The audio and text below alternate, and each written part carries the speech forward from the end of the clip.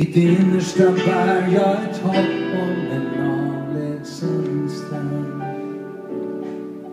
Att få möta Herren ansikte mot ansikte. Så vad jag gör, vad jag än tar mig för, ska jag aldrig släppa